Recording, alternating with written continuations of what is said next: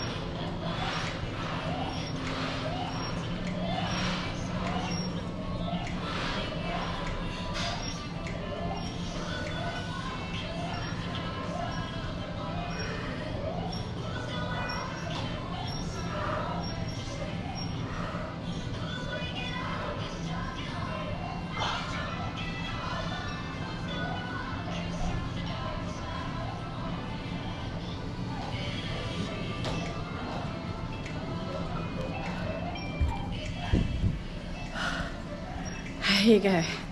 Hope you saw what I did and maybe you're inspired to try it at home.